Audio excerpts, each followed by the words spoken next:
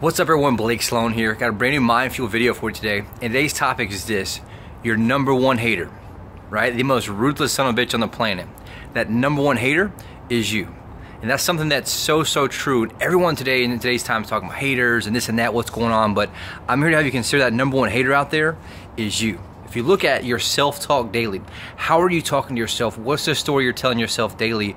I guarantee that affects your mindset, your story, and your ability to produce every single day, right? From from men out there as businessmen like myself, a lot of times we catch ourselves telling these stories that are brutal and are absolutely, you know, detrimental to our success as, as a person, as a father, as a husband, as a businessman, as anything. The same thing out there with, with our females out there. Listen to your self-talk daily, right? I'm, I'm fat, I'm overweight, I'm ugly, I'm getting old. All these things daily. If you look at how you bombard yourself over and over and over uh, with the negative self talk or the things that are, are hating against yourself, right?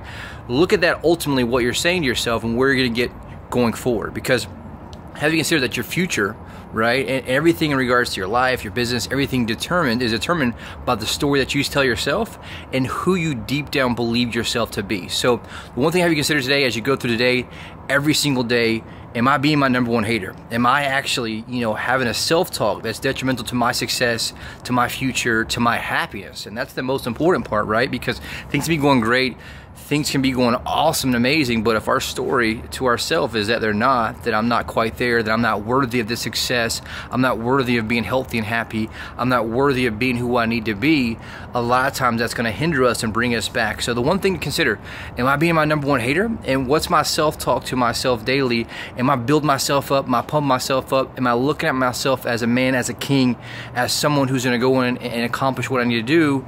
Or am I holding myself back because of the bullshit story that I keep telling myself? So, love you guys. Hope this helps. I'll see you at the top.